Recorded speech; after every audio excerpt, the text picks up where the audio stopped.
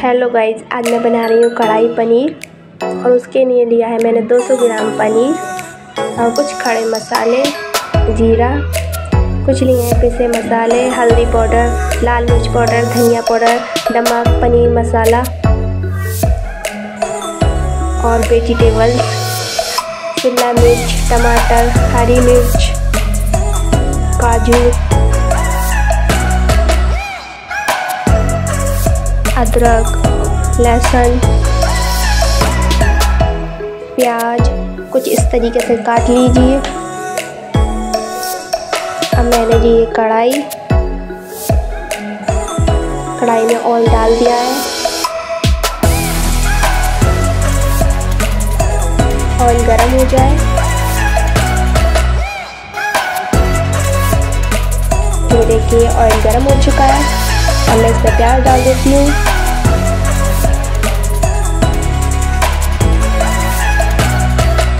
लहसुन, हरी मिर्च, अदरक, काजू डाल के मिक्स करें। टमाटर। मिक्स करके हल्का फ्राई करें। ये देखिए फ्राई हो चुका है। मैं बर्तन में निकाल लेती हूँ ठंडा होने के लिए।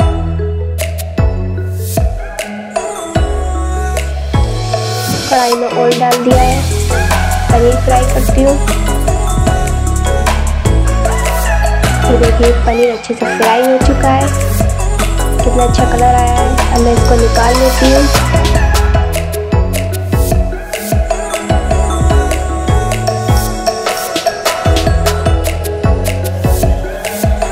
हमारे टमाटर और प्याज ठंडे हो चुके हैं तो मैं इसका पेस्ट बना लेती हूँ।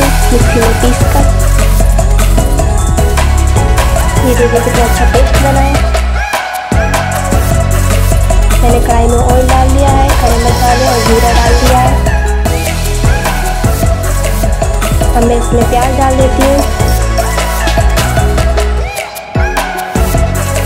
प्याज डालने के बाद शिमला मिर्ची डाल दिए हल्का फ्राई हो जाए अब मैं इसमें पेस्ट डालती हूँ प्याज टमाटर का।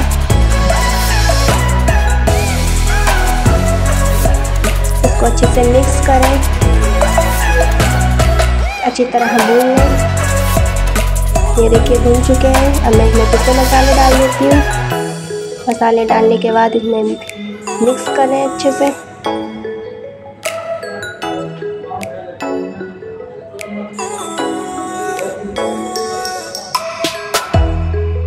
ये देखिए मसाले सारे भून चुके हैं। इसमें पनीर डाल देती हूँ।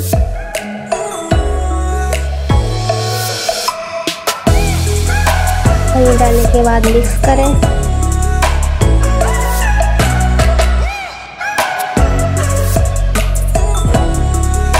मैं इसमें फ्रेश क्रीम डाल देती हूँ।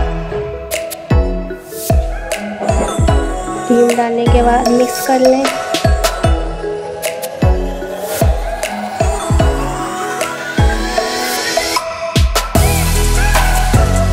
ये देखिए कितना अच्छा कलर आया है। हमारा पनीर बन चुका है।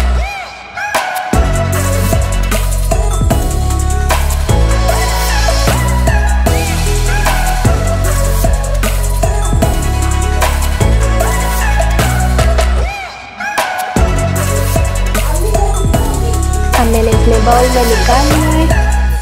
ये देखिए कितना अच्छा कलर आया है।